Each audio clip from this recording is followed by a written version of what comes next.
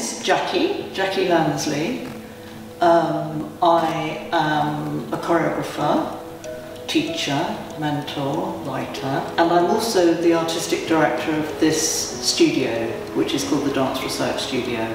Last year, I was awarded the very prestigious um, Jane Attenborough Award. A very wonderful event, which I found very moving, very, very encouraging.